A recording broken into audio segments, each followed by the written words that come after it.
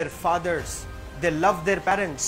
उनको ज़रूर शाहरुख खान कुछ पल के लिए अच्छा लगता है। ज़रूर आलिया भट्ट उनको अच्छी लगती है, लेकिन जब माँ का चेहरा आ जाता है तो आलिया फीकी हो जाती है। वालिद का चेहरा आ जाता है, शाहरुख खान फीका लग जाता है। लेकिन ये रियलाइजेशन कब होता है?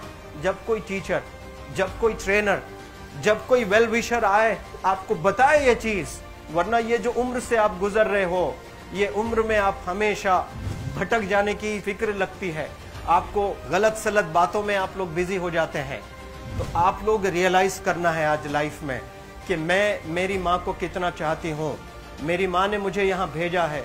मेरे डैडी ने मुझे यहाँ भेजा है। तो मुझे कितना मेहनत करना है।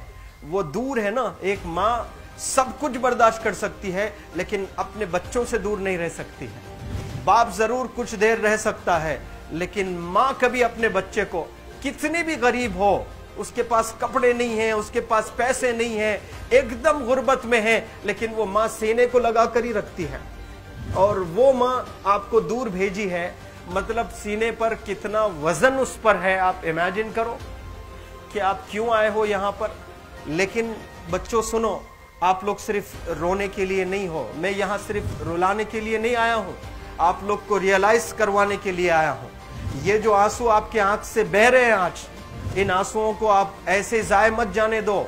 आप कसम खाइए आज। You take a oath take a pledge today कि मैं ज़िंदगी में ऐसा काम करूँगी, मेरी अम्मी बहुत खुश हो जाएगी। मैं parents will feel very proud of myself उन्होंने जो डिसीज़न लिया मुझे अजमल फाउंडेशन के हॉस्टल में रखकर पढ़ाने का। यकीन जाने, जो बच्चियों के पास में फोन्स आज हाथ में है वो ज़िंदगी अपनी तबाह कर रहे हैं।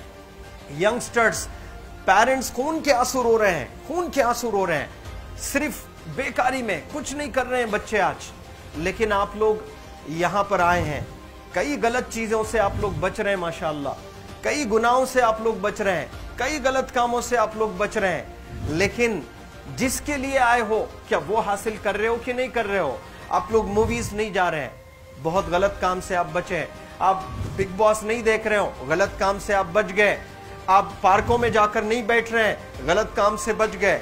आप होटल में जाकर बॉयफ्रेंड्स के साथ नहीं बैठ रहे हैं गलत काम से आप बच गए। लेकिन सिर्फ़ गलत काम से बचने के लिए नहीं आए यहाँ पर, कुछ हासिल करने के लिए आए अपनी लाइफ में, कुछ अचीव करने के लिए आए हैं अपनी लाइफ में।